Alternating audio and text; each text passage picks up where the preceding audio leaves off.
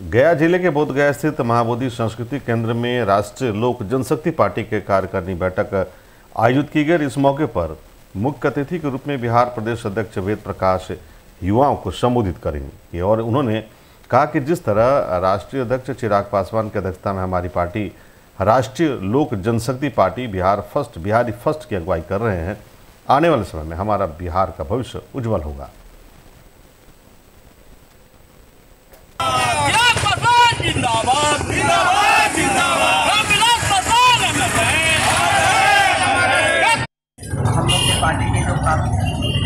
कार्यक्रम है, वो प्रदेश कार्य समिति की बैठक है।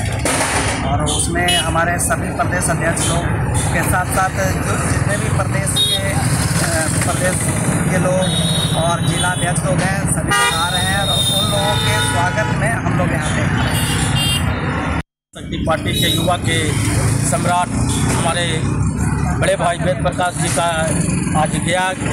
विष्णु की धरती एवं भगवान बुद्ध की धरती पर हमारे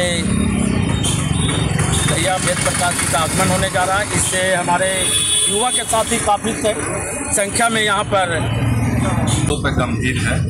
सरकार सोच रही है। कानून व्यवस्था भी टाइट किया जा रहा है। नए डीजीपी आए हैं बिहार में। और सभी एनडीए के घटक दल ने भी सुनिश्चित किया है कि कानून व्यवस्था कैसे ठीक हो, इस पर एक आपस में बैठ कर के बातचीत होनी चाहिए। रहा तेजस्वी यादव जी का बात तो भाई विपक्ष के नेता है। सलाह देना उनका काम है। गया में पुलिस पर भी ढाई लाख सौ बारह की गाड़ी पर हमला हो गया था अपराधियों द्वारा। अपराधियों द्वारा स्कॉट पे भी चोरी करके ले गई पुलिस की। पहले भी बता